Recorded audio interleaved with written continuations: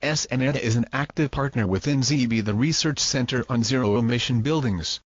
The ZEB Multi-Comfort House is a cooperation between Snøhetta, Scandinavia's largest independent research body SINTEF, ZEB partner Brødrene Dahl, and Optimera.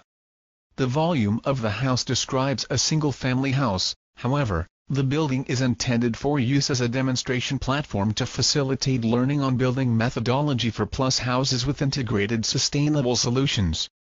To achieve ZEB-OM classification the project is required to document and verify a minimum of 100% CO2 offsetting renewable energy production via photovoltaic and solar thermal panels integrated in the building envelope enables offsetting of carbon emissions generated by the burning of fossil fuels in power stations.